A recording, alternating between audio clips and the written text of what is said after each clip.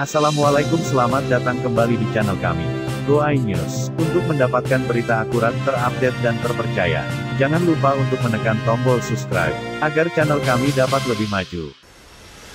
Duel maut terjadi di belakang areal parkir sebuah mal di kawasan Jalan Tua Patinaya, Kelurahan Bukit Kecil, Kecamatan IB Palembang, Provinsi Sumatera Selatan, Minggu, tanggal 30 Januari tahun 2022 pagi. Kejadian ini membuat warga sekitar menjadi heboh dan berhamburan keluar rumahnya masing-masing. Informasi yang dihimpun sripoku.com, duel maut ini terjadi antara dua pria duga karena berebutan soal parkiran di lokasi TKP, tempat kejadian perkara. Diketahui kedua pria itu yakni Ferry Datuk dan Rustam. Akibat duel maut itu, Ferry harus dilarikan ke RS Caritas Palembang karena tangannya nyaris putus.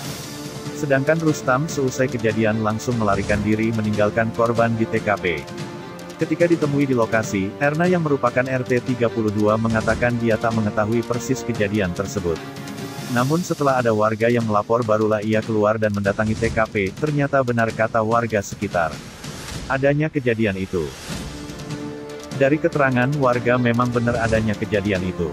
Peristiwa duel itu terjadi diduga akibat rebutan lahan parkir dan salah satu pria bernama Rustam merupakan warga saya, katanya sambil mengatakan yang bersangkutan sudah kabur berdasarkan informasi warga. Personel unit Pidum dan Tekap 134 Polrestabes Palembang yang mengetahui adanya kejadian ini langsung melakukan penggerebekan ke rumah pelaku. Namun disayangkan saat dilakukan penggerebekan rumah pelaku pun sudah kosong dan digembok dari luar.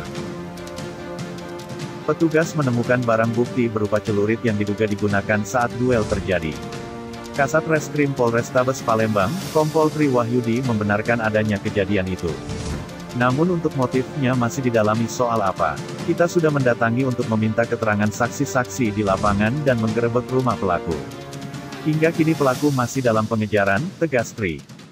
Cukup sekian informasi pada hari ini. Semoga bermanfaat. Saya akhiri. Wassalamualaikum warahmatullahi wabarakatuh.